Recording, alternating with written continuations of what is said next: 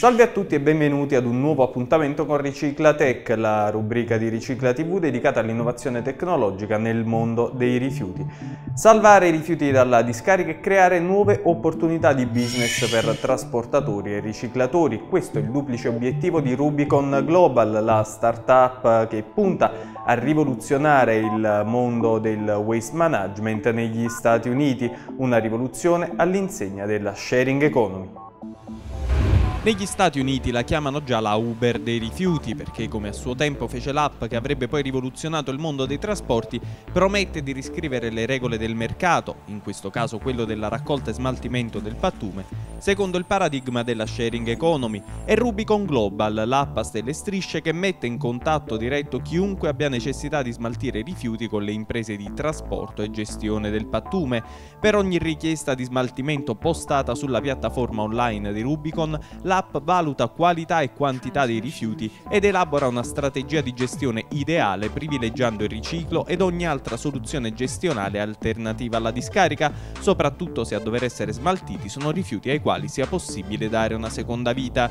Quindi la richiesta viene inoltrata ad una serie di operatori di mercato indipendenti che possono a loro volta postare la propria offerta lasciando il richiedente libero di scegliere quella capace di coniugare al meglio convenienza economica e sostenibilità ambientale. Il beneficio insomma è doppio, da un lato si punta alla diversion, ovvero a deviare il rifiuto dalla discarica verso i canali del riciclo, dall'altro si sfruttano invece i meccanismi della concorrenza e delle economie di scala per garantire risparmi alle imprese produttrici di rifiuti.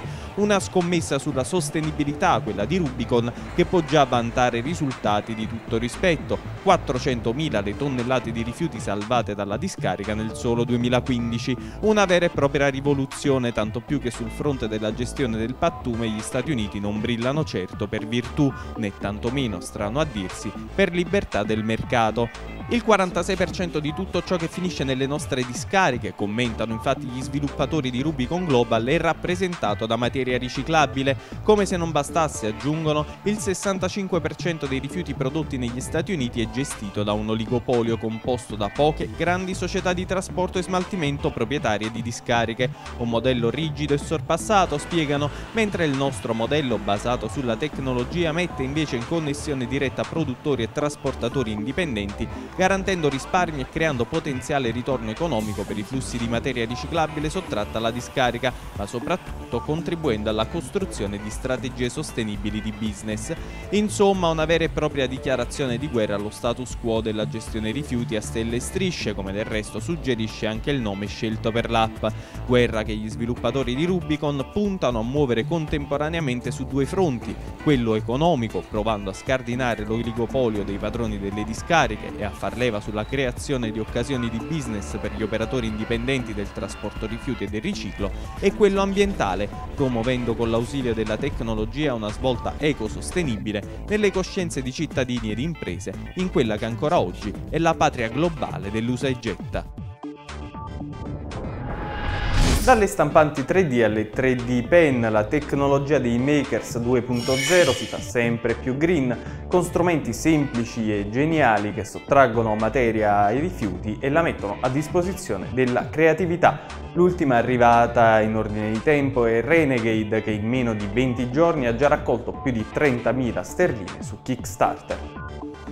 Meet Renegade, the first 3D pen in the world that allows you to reuse your plastic bottles Dopo il boom delle stampanti 3D, una delle tendenze più in voga tra i makers di tutto il mondo è la 3D Pen, accessorio più o meno portatile in grado di far letteralmente sollevare dal foglio le creazioni di artisti e progettisti. Questi tratti di penna a tre dimensioni sono evidentemente di plastica fusa che raffreddandosi si solidifica pressoché all'istante. Il principio è lo stesso delle stampe 3D vere e proprie, ma ne eredita anche limiti e difetti.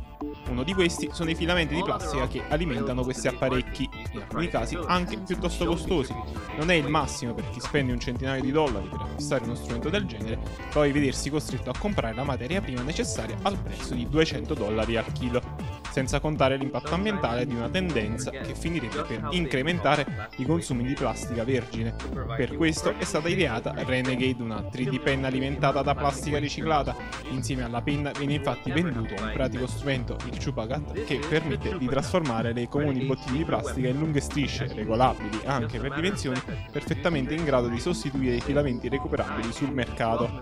È sufficiente riscaldare la bottiglia, tagliarne la base, estendere il supporto del Chupacat e fare della bottiglia in petto una lunga strisciolina di plastica, pronta per alimentare l'apparecchio. Operazione ripetibile anche con le buste di HDPE, magari aiutandosi con un ferro da stiro ed un trio da documenti. Le idee di Renegade e del Chupacat sono lanciate da Daniel Edwards sulla nota piattaforma di crowdfunding Kickstarter, superando in meno di 20 giorni l'obiettivo di 25.000 sterline che l'inventore londinese si era prefisso. A questo punto possiamo aspettarci che ben presto la sua creatura possa entrare in produzione raggiungendo i primi donatori per arrivare sul mercato nel corso del prossimo anno.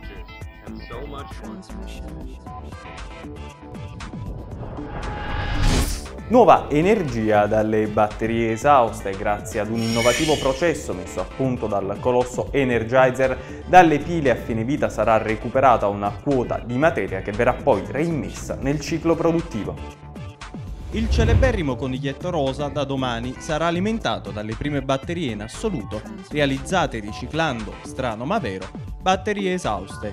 Energizer ha lanciato sul mercato la nuova linea Eco Advanced di pile alcaline doppia e tripla A, le prime a contenere una quantità, anche se minima al momento, di materia recuperata dalle batterie esauste finite nel cestino, frutto di una ricerca durata 7 anni.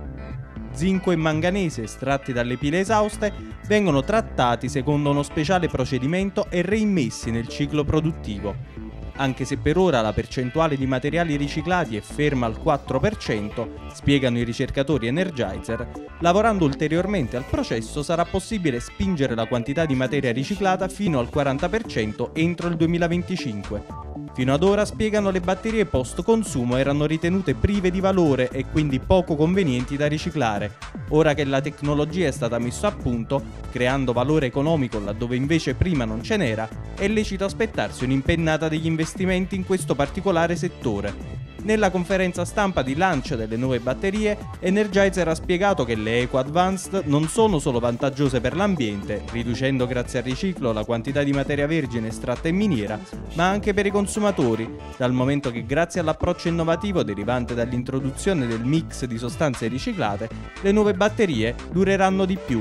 Meno materia estratta dunque e meno rifiuti in discarica, una soluzione quella di Energizer, vantaggiosa per le tasche e per l'ambiente. E con questo è tutto, Riciclatech termina qui e vi dà appuntamento alla prossima puntata, sempre qui su Ricicla TV. Grazie e arrivederci.